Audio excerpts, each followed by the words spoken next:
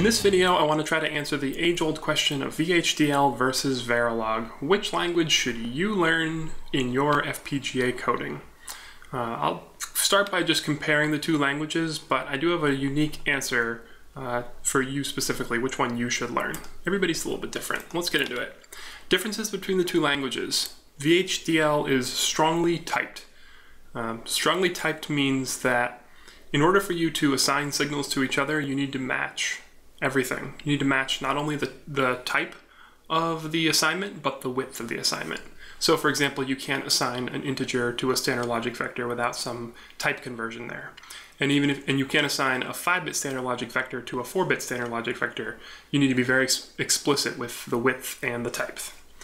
Um, so it's harder to make some typo mistakes, but that requires more coding. So you can't just do some things um, like in Verilog that you can do in Verilog. So Verilog is more weakly typed, and you can write code that is wrong but more concise. Like for example, you can assign something that's four bits wide to something that's five bits wide, and Verilog just says, yeah, I know you only assigned something that's four bits to a signal that's five bits, and I'm just going to assume that bit that you missed, I'm just going to assume that's a zero. So that might be a problem in your code, and you might not even realize it. Versus VHDL, you might catch a problem like that right away. Um, right before you, right when you're compiling your code, you might catch that problem. But Verilog, you wouldn't catch that problem until either you simulate it or you're running it on hardware. So it can be a lot harder to find some problems like that. Um, but you know the benefit is that you don't have to type as much. Um, VHDL is very deterministic, and Verilog is non-deterministic under certain circumstances. And deterministic basically means that you can have race conditions if it's non-deterministic. And here's an example I found on this blog here. And it's basically, there's two initial begins, an initial begin and an initial begin. And ready gets assigned to one in this initial block, and then in this initial block down here, it says at posedge, edge ready. If result is equal to five, then say result was ready, else say result was not ready. And it looks at first glance you say, "Oh, what's wrong with that?" But you don't, you can't guarantee in Verilog whether or not you're going to print result was ready or result was not ready. You have a race condition here, and so this is an example of how Verilog can be non-deterministic. Doesn't happen too too often, but it is something just to note. Verilog looks a lot closer to a software language like C. So if you've used C before or any programming language, um, you know, your Verilog is going to look a lot more similar to that than VHDL. VHDL's got a lot of extra overhead associated with it. Um, it does look like code, but it's a little bit harder to find. Um, but I will say right now, those things do not matter. In the long run, I think the most important thing, the reason you should learn VHDL or Verilog is which one you're more likely to use in school or in your job at work, wherever you are.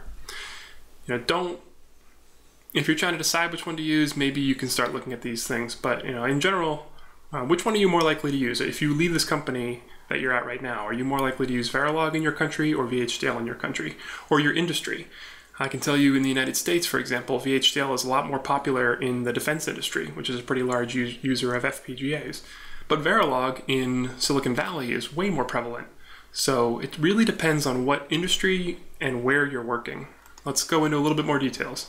You know, in general, if you look at Google Trends on uh, on the search frequency of VHDL and Verilog, they're pretty they're pretty close. I was kind of surprised.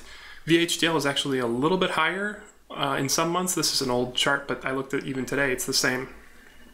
And uh, you can notice two things that are interesting on this graph. One is that the search volume dips pretty significantly around Christmas time when a lot of people take school and work off and search volume dips steadily in the summertime as well. So here's where it's going down into the summer, and here's where it's coming out of summer. So in general, the two are pretty, from a worldwide Google search perspective, pretty equal. What's interesting though is if you break it down by country, you start to see some discrepancies. So the United States, skews more towards Verilog in general um, than VHDL. VHDL is the darker green lines here. Verilog's the light green.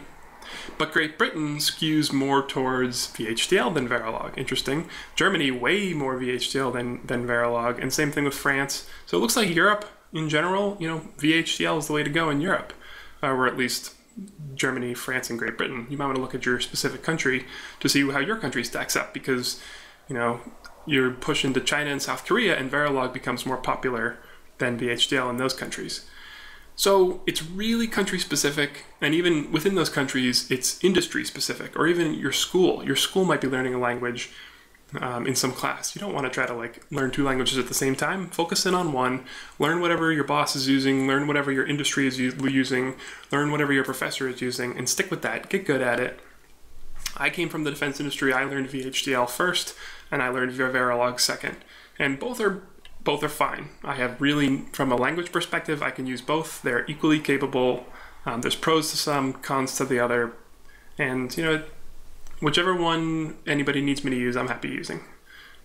So that's pretty much it. That's the answer for VHDL versus Verilog. I think it's a little unique. Um, if you like that, then please support my YouTube videos by buying yourself a Go board and learning VHDL or Verilog on your own.